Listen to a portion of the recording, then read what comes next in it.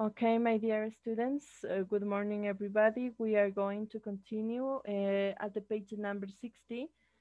So please open your student's book and I am going to share you the screen. Here I have, uh, this is about the grammar, but we did. Now we have this, before you read. Vamos al before you read, tenemos esto en la página 60. This is the reading. And before you read, you are going to see the following phrases in the article. What do the underlined words mean? Look them up in a dictionary and explain their meaning to your partner in English. Aquí tenemos un pequeño reto. Dice, va a encontrar varias frases, ¿ya? En el artículo. Eh, las palabras que están subrayadas, ¿qué significan? Eso dice, vamos a usar diccionarios. Busque en el diccionario y explique a sus compañeros de qué se trata, qué significa, con sus propias palabras. Vamos a ver qué palabras tenemos. Dice mental, fits, developmental disorder, aptitude for music, severe brain damage, unbelievable calculations, mysterious organ. ¿Ya? Solo las palabras que están subrayadas dice que quiere saber el significado. Entonces vamos a ir pendientes con esas palabras.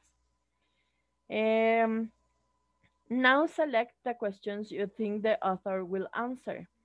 Y ahora seleccione lo que usted piensa que el autor contestará a esto. Dice A, B, C, D, E. What are some unusual side effects of severe brain injuries? ¿Se acuerdan de lo que era injuries? Vimos unos días atrás esta palabrita. Decía heridas, ¿sí? Heridas físicas o trauma, eh, lesiones, ¿no? Can old people with an aptitude for music do fast eh, calculations? ¿Pueden las personas con aptitudes para la música hacer cálculos rápidos? Vamos a ver. Why will the body's most mysterious organ never be fully understood?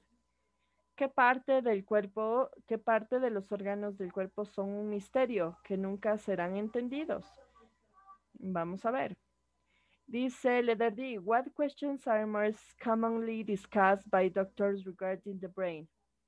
¿Cuáles son las preguntas más frecuentes que debaten los doctores eh, en cuanto al cerebro?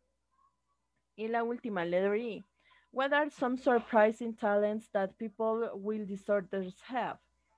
Dice, ¿cuáles son los talentos más sorprendentes que las personas con desórdenes tienen? Disorders. Vamos a ver. Okay. Vamos, eh, ¿alguien encontró ya las palabras? What is the meaning fits? Tenemos varios significados. Añanzas mentales. ¿Perdón? Repeat, please. Añanzas, añanzas mentales. Añanzas. Añanzas. ¿Y qué más? Porque no se olviden. Eso, porque no escuché bien. Hazañas mentales. Ya. Vayan poniendo, ¿no? Hazañas. Mental fits, hazañas mentales. ¿Ok? Dice developmental disorder. What is the meaning disorder? Aparte de desorden. Trastorno de desorden. Trastorno o desorden. Muy bien. Vayan poniendo disorder, trastorno o desorden. Aptitude. Aptitud. ¿Qué más? Aptitud y qué más?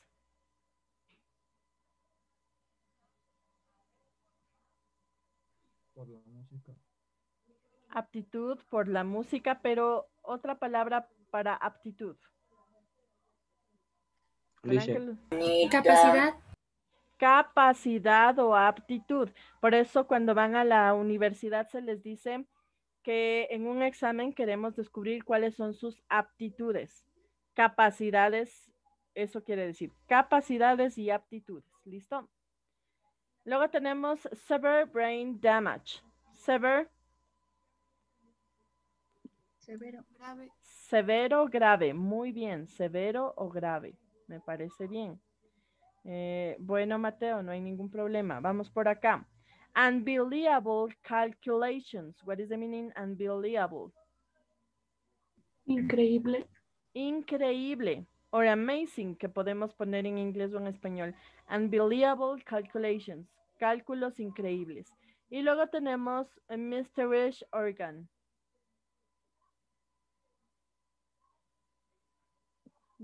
Misterioso. Misterioso, un órgano misterioso. Entonces, ya chicos, estas preguntas que están acá, lo que vamos a hacer es seleccionar algunos de, de estas preguntas que nosotros pensamos que va a responder el texto. Hablando, eh, miren, ahí tenemos el- la portada del libro que dice Disabilities and Genius. ¿Ya? Desórdenes o trastornos y genios. Entonces vamos a hablar sobre esto. Dentro de estas, eh, ¿cuántas son? Cinco preguntas. Vamos a escoger dos que ustedes crean que el autor de este texto va a contestar en este texto. ¿Será que va a contestar letter A, letter B, C, D, E? Miren, eh, tomando en cuenta las frases de arriba, las palabras de arriba y el título, vamos a tratar de inferir o de adivinar cuáles serán las preguntas que va a dar respuesta el autor. Solo son dos. Intente.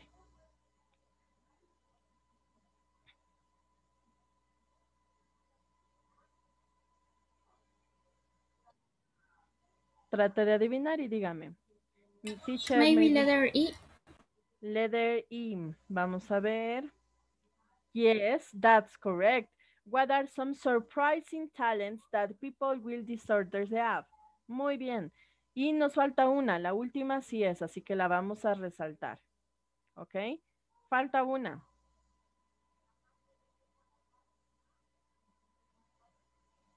Try to guess.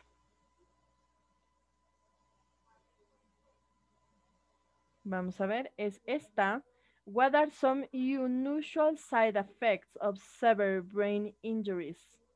Y la que habíamos mencionado, what are some surprising talents that people with disorders have? Con estas dos vamos a continuar. No se olviden del vocabulario que vimos acá. So we are going to start with the reading. Listen, please, and try to understand. Vamos a intentar entender, chicos, ¿sí? Entonces vamos ahí.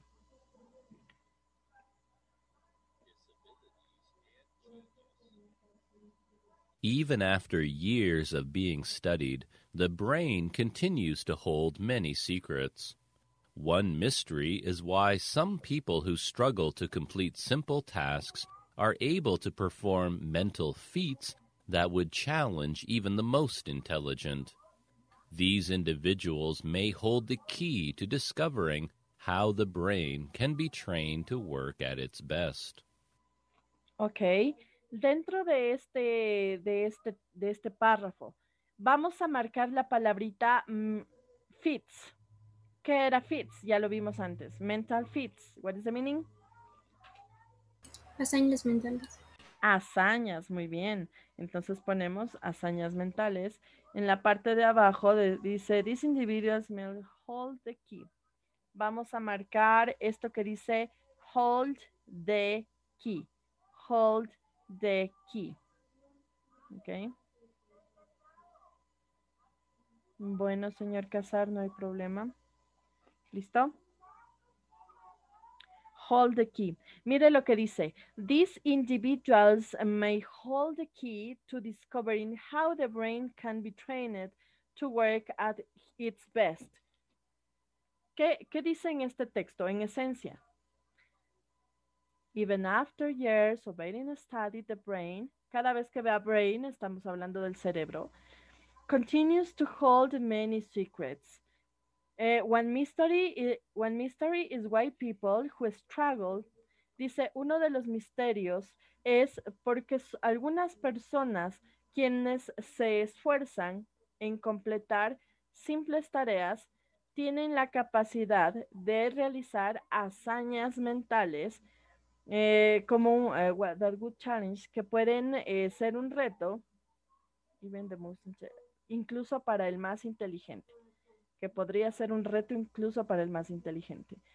Estos individuos, estas- esta clase de personas, pueden tener la clave para descubrir cómo el cerebro puede ser entrenado mejor, cómo podemos entrenar mejor nuestro cerebro. ¿ok? Entonces, ¿qué significa hold the key? Tener la clave. Tener la clave. Ujú. Continue. Listen, please. Eh, no solo escuche el audio, sino intente inferir de qué se trata lo que está escuchando. Ellen Boudreau was blind by four months old and was later diagnosed with autism, a developmental disorder. It took her until the age of four to learn how to walk. Soon after, she taught herself to determine where obstacles are by making sounds as she moves. Doctors postulate that her amazing sense of hearing, combined with the sounds she makes, create a type of sonar, like what bats use to fly at night. Her extraordinary hearing has also given her an aptitude for music. By using her ability to recognize different tones, she has mastered several instruments. She can recall any song that she hears and then play it perfectly. Okay. What is text about? What is talking about? What is the most important about this? ¿Qué entendió? Dígame. Lo que dice, Ellen Bordeaux was blind by four months old. ¿Ya? ¿Qué dice ahí? Solo hasta ahí. ¿Qué dice ahí? Ellen Bordeaux. Estuvo ciega por cuatro meses. eh, ¿Fue qué? Estuvo ciega, sí, lo que me dijiste. Ellen Estuvo- Bordeaux Sí, eh, que estuvo ciega por cuatro meses y después fue diagnosticada con autismo. Muy bien, gracias, este señor Díaz, Díaz Fernando, y te voy a poner un puntito por la actuación. Ya, listo. Muy bien lo que dice. Ella fue, bueno, estuvo ciega desde que tuvo cuatro mesecitos de edad y después, más adelante, fue diagnosticada con autismo. ¿Qué era lo increíble de esta persona? It took her until the age of four mire, hasta la edad de cuatro años, to learn how to walk. A los cuatro años aprendió a qué? A caminar. A caminar. Soon after, she taught, eh, luego de esto, ella aprendió a determinar dónde estaban los obstáculos eh, haciendo sonidos mientras se movía. Los obstáculos quiere decir los objetos que pueden estar alrededor de ella. Recuerden que era ciega. Entonces dice que ella tenía que hacer sonidos al moverse para determinar dónde estaban los objetos. Y mire lo que dice. Doctors postulate that her amazing sense, los doctores dijeron que su increíble sentido de, les- de la escucha, de escuchar, combinado con el sonido que ella hacía al crear un tipo de sonar. Sí sabemos lo que es un sonar, chicos. ¿Qué es un sonar? ¿No han escuchado? ¿No, no lo saben? Eh, señorita ¿usted sabe lo que es un sonar?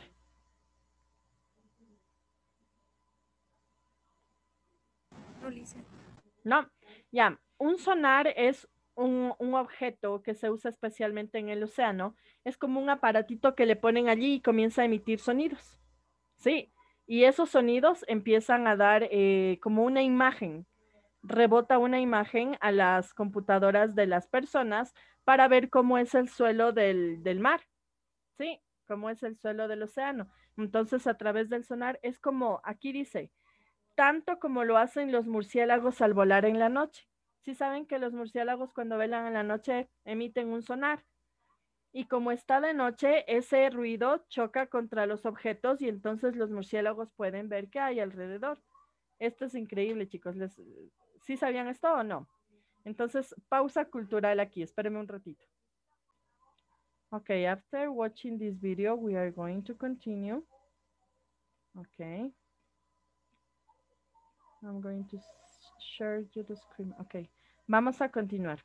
Una vez que hemos descubierto esta parte de, la, de lo que es un sonar, como lo hacen los murciélagos en la noche. Her extraordinary hearing also given her an aptitude for music.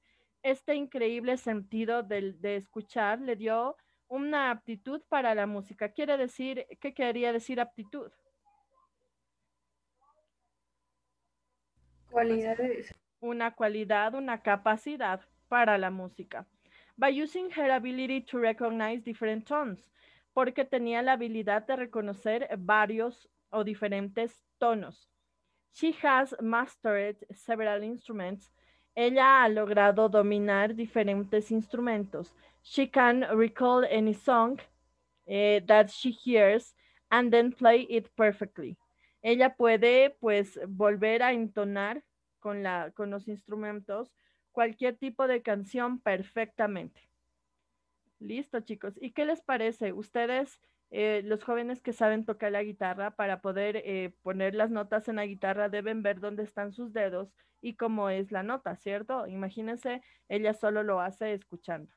Por eso es extraordinario. So, continue.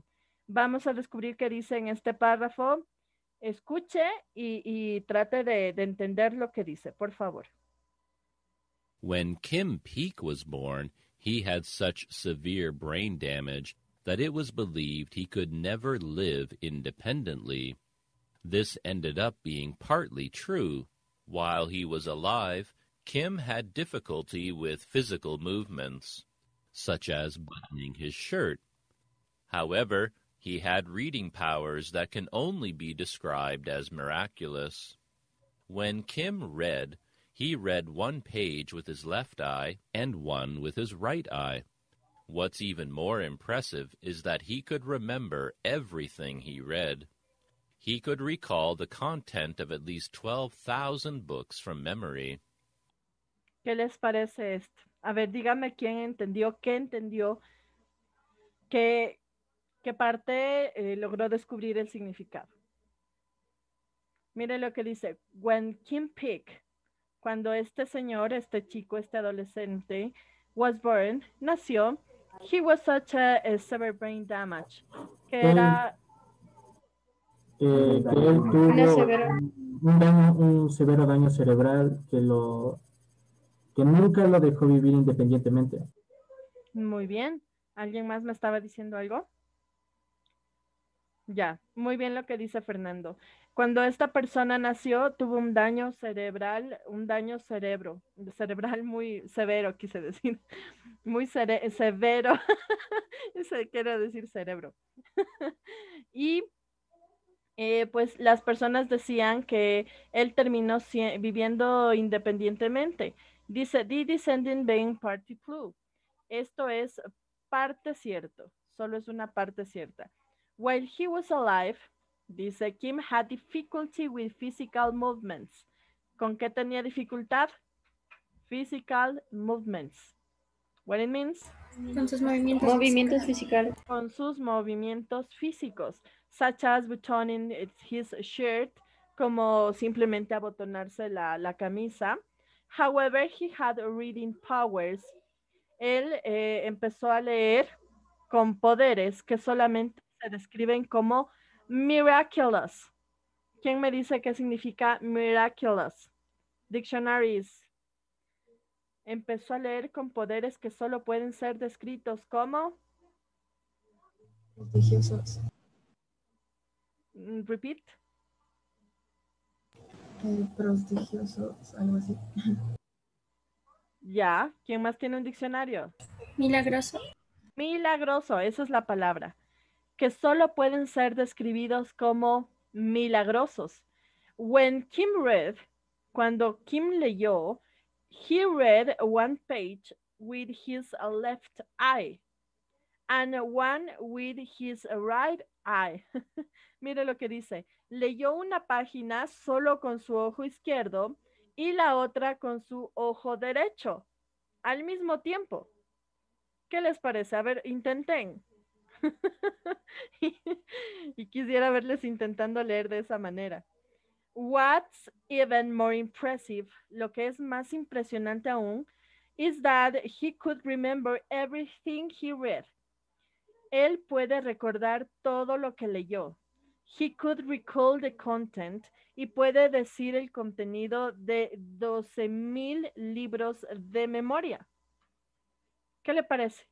Si usted, si les pongo a leerse una página, de verdad que no me van a decir que dice una página de memoria. Imagínense 12,000 libros, porque lee con el un ojo un libro y con el otro ojo otro libro al mismo tiempo. ¿Qué le parece? Incredible, yes or no?